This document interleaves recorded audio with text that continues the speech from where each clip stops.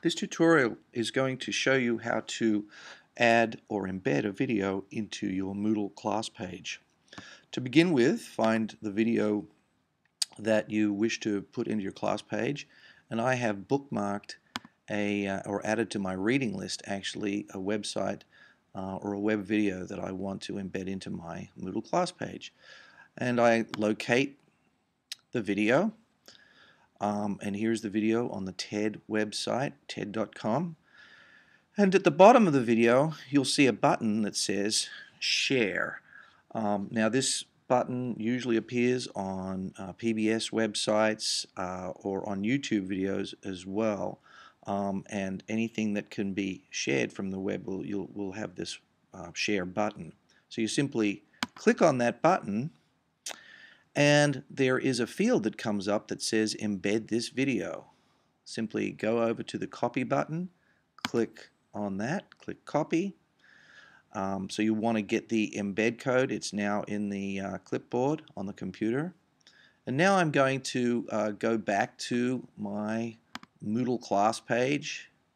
So I simply go back to the Moodle class page and I can close my reading list here navigate to my uh, course that I want to uh, embed the video into. I'm going to turn editing on and I'm going to locate my video in my first week here, uh, January 15th.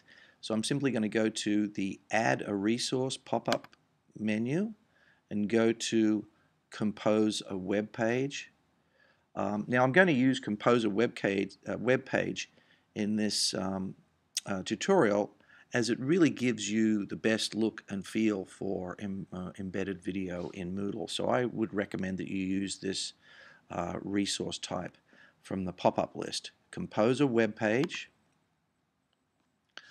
and we're going to type in um, the title that we want for this. I'm just going to say watch this video and in the summary, I'll put something about it.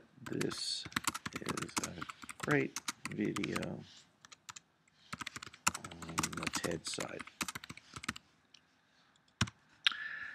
And then I scroll down to the Compose a Web Page uh, window, and we're inside the HTML editor.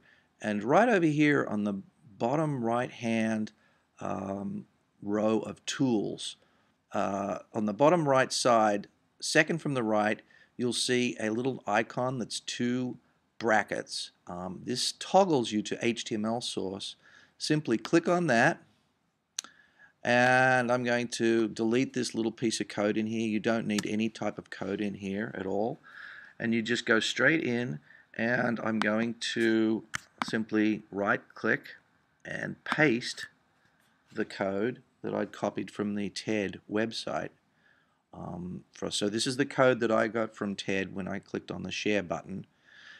And the last thing I'm going to do here is I'm going to go to window where it says window and I'm going to click new window um, so that this video pops up in its own window and the students can just close that and return to their class without um, having moved away to any other website uh, or web page. And I simply click on save and return to course. And now you see this is how it looks to the students. They'll just see a link here that says watch this video.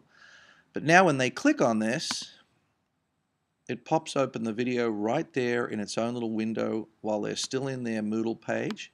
They can move this window around wherever they want. Watch the video. It streams straight from the TED site.